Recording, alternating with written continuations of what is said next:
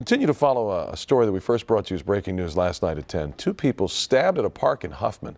Now, we're told the stabbing took place during some kind of a fight. One of the victims managed to drive to an Exxon off 1960 and Lake Houston Parkway to get help.